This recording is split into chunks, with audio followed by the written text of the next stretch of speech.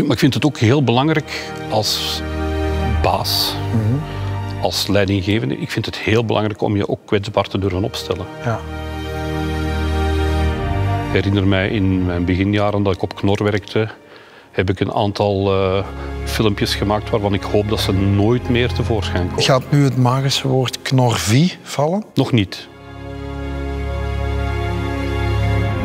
En je moet altijd geloofwaardigheid verdienen. Ehm, men zegt niet voor niks, hè. Vertrouwen komt te voet en gaat te paard. Ja. Ik ben Hans Kools, CEO bij Moor.